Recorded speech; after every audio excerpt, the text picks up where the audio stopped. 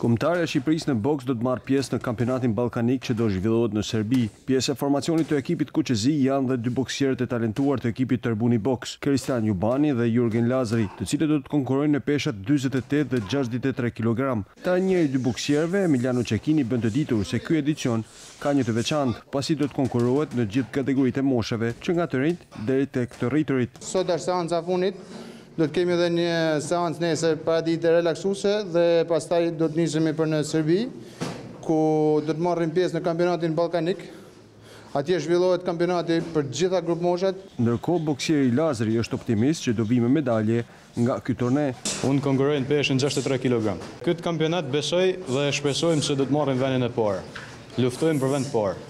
Besimin e kam të plotë se do kthehem me medalje nga Serbia dhe shpresojmë të bëjmë ma të mirën. Ballkaniada e boksit do të zhvillohet gjatë fundjavës në Serbi, ndërsa pritet që boksierët Jubani dhe Lazri të marrin medalje të arta në këtë kampionat.